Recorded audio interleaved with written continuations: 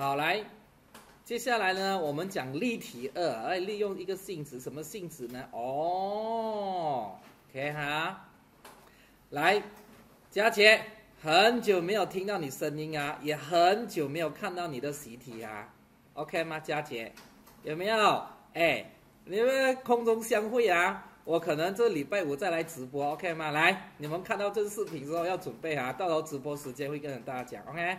好，微分这个常数嘛是等于零啊，OK，什么意思呢？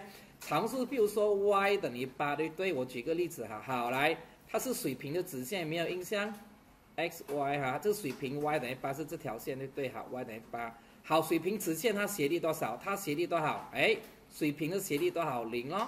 所以以后常数微分等于零的意义就在这里，可以吗？它几何意义？所以回过头来这里，佳姐，哎，有听到我吗？有的话在 group 里头回答哈。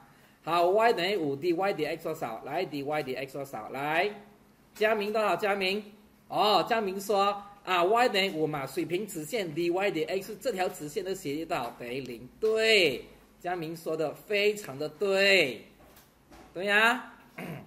好了，接下来 b 呢？b 一横就说，老师，b 我来了。B sub sub water 啊，我来我来，好好好好，好一横又说老师 y 等于负二分之一简单啦，它图形是在嘛这里对不对？这个 y 等于负二分之一，哎，水平直线嘛，所以这直线斜率多少？零，对，非常的好，可以啊。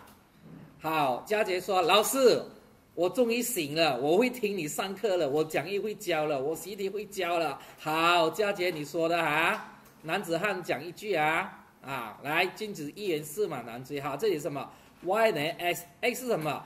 非 x 可导函数，反正 x 常数哈，你把它想成常数好不好？可以吗？dy dx 等于多少？常数微分就零就对了哈，跟 x 无关就 OK。非 x 可导函数嘛，就不是 x 的，它又可以微分，但是不是 x 的东西，OK 嘛？所以这三个就告诉我们什么东西呢？哦，假设水平直线它的斜率为零。OK 啊，No problem 啊，好。